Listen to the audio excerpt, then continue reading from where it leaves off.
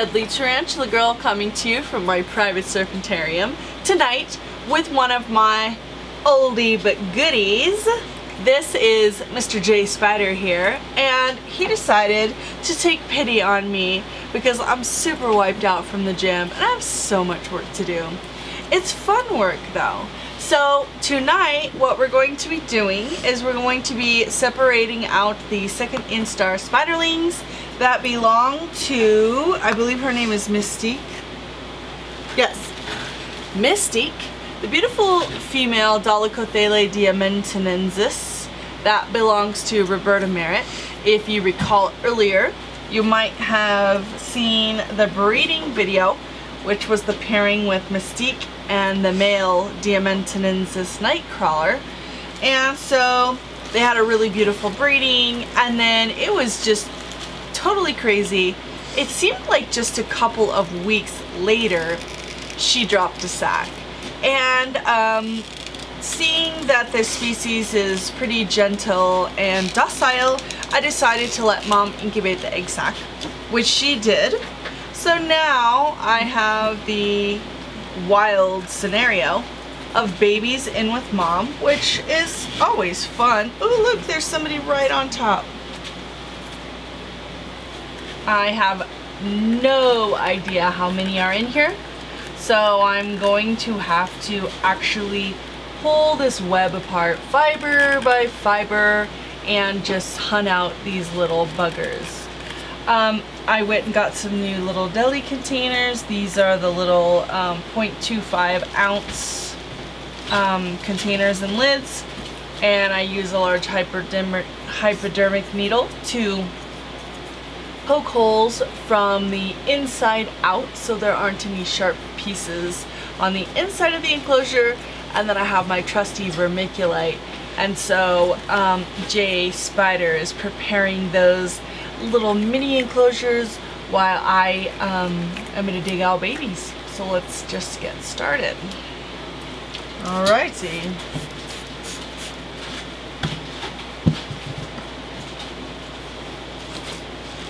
Just chasing the baby out of the web. There we go. There's one.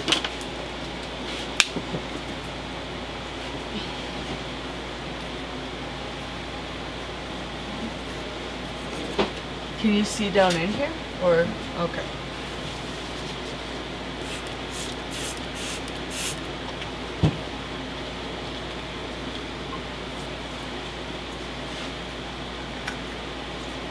Hey, Mama. You want to come out? So, the unfortunate part is that yes, I am absolutely destroying her web obviously she can rebuild it, but it's not the friendliest thing to do. So all of you geniuses out there who go, don't take the babies away from the mother, you're cruel. This is one unfortunate thing about if I don't take the babies away from the mother, is that then I have to go and ransack her house to collect all of her children because ultimately she will eat them for breakfast, you know if I just leave them in here forever. Yeah. Yeah.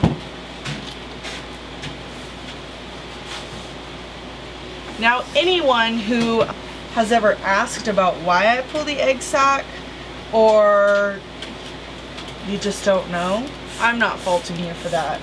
But you people with your opinions about what a waste of life I am because I do this, you just don't know what you're talking about. Yeah. Don't make me sick J Spider on you. And by the way, I miss you, Hank. Come back. Wow. I just exposed a little group. I'm kind of pointing blind, but in that area. So that's cool, because, I mean, I'd only seen like two or three at a time, so this is exciting. And they already look like they have some bluish hue. So that's very exciting. Alright, come on kiddos.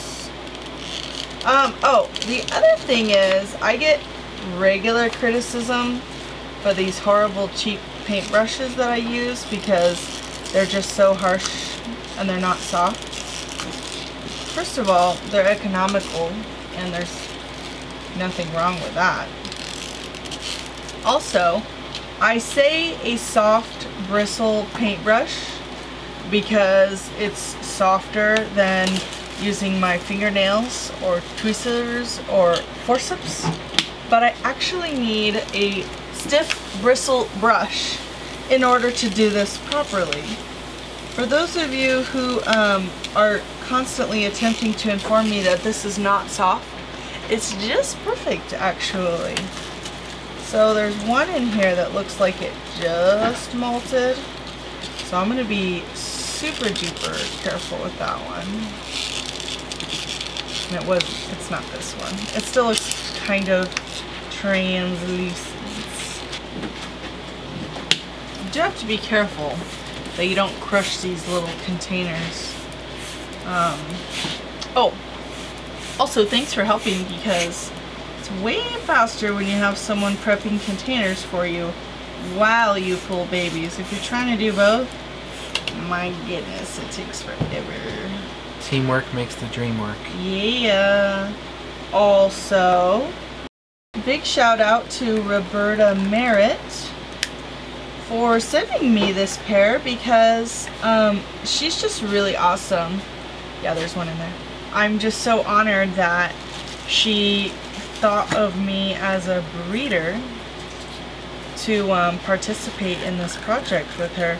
And she even went so far as to say that I was the person that got her into teas and encouraged her when she was kind of like borderline on the fence like maybe I should try tarantulas, maybe I shouldn't.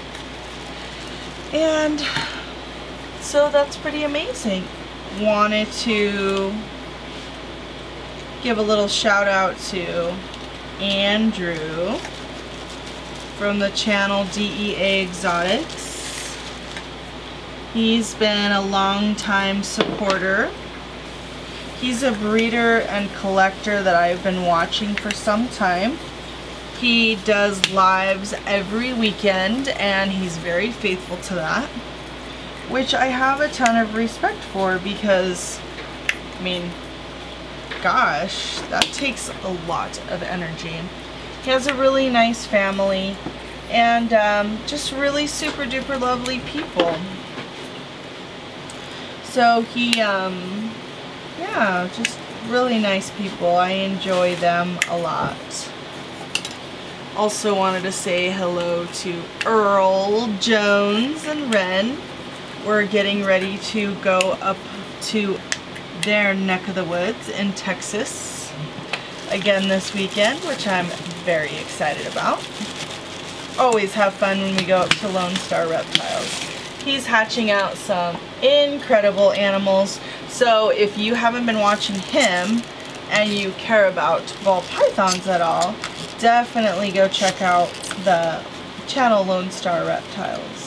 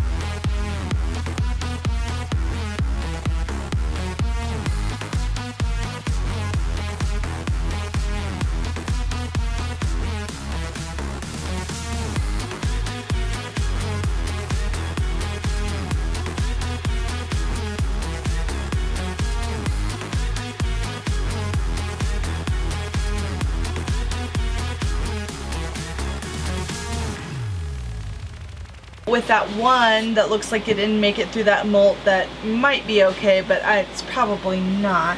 That's 30. And then a couple more might, you know, turn up. So 30-ish. That's really pretty good numbers for such a tiny little species. Most of them look very fit and strong and healthy. Mom, you can see mom still has some good weight on her. And so she's not going to be happy that I wrecked her home, but she's going to get fed and watered and um, I don't think she'll be too upset. Mommy tarantulas don't don't live with their offspring in the wild and don't care for them long term so they usually don't seem too stressed out by this process. So Bobby, the owner of the two adults, was generous enough that she offered me half the yield from the egg sac. And so that's really exciting because now I have, you know, some of my own. This was a species that I hadn't kept in a little while. So I'm very excited and congratulations to Bobby and her lovely husband. They actually drove they were in the area once and they asked if we could meet. And so we ended up meeting up with them and they were super duper nice. And we hung out and had lunch and just talked about animals and stuff. So it was wonderful meeting them and now what a wonderful experience. We're like grandparents together. So what do you think about this Jay Spider? I think it's pretty cool. In a way it's neat to see how a small spider can produce 30 or so babies um, and you get into the larger species and how that number can double, triple, quadruple yeah. into the high hundreds. Or so it's just neat to see the process. Over a thousand in some species. Yeah, some species.